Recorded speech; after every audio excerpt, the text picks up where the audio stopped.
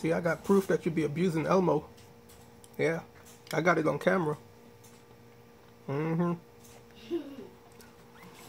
Yeah. That's domestic abuse. Mm-hmm. Elmo gonna get you.